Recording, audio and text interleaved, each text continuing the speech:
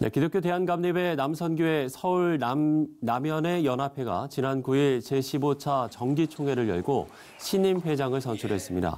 제15대 신임 회장으로는 영등포 물레동교회 안병선 장로가 당선됐습니다. 안병선 신임 회장은 기도와 선교, 평신도 단체의 활성화에 초점을 맞추고 임기에 임할 거라며 개인의 자랑이 아닌 교회와 하나님의 영광을 드러내는 일을 해나갈 것이라고 포부를 밝혔습니다.